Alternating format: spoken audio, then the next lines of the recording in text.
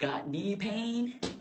Do the Valentine's Day protocol to get rid of your knee pain. So knee pain, regardless of if it's from injury, if you had arthritis, wear and tear, you know, what can you do to prevent your knees? Because they're degenerating regardless, you know, whether you want it or not. So I created this Valentine's Day protocol. Since it's Valentine, it's, it's about to be Valentine's Day, right? So you can use this Valentine's Day protocol on your knees and also on your Valentine's, okay? So when you, let's just say you have your Valentine, your spouse, your boyfriend, your girlfriend, whatever, you have a Valentine and it's coming Valentine's Day, how are you going to impress your date, right?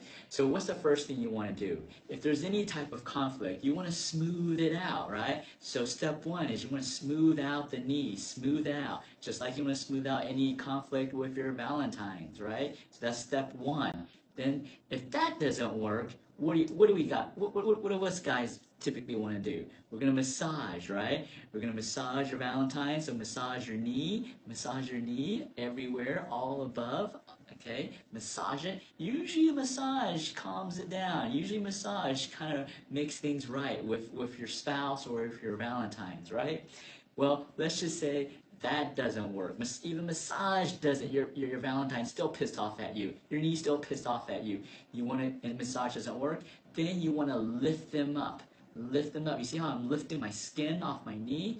What does this do? This helps, keeps, prevents, because if the skin's all tight, then it's to keep, it's to restrict your, your range of motion in your knee. So you want to loosen things up by lifting it, okay? So no, you don't actually pinch your Valentines. You want to lift them up, right? And for the knee, this is the lifting part, right? But let's say even after you lift them up, you say all these nice things to them, and they still are pissed off at you, and you're not having a good Valentine's Day, and your knee still hurts, you're going to use step number four. Step number four, you're going to slap them. Slap.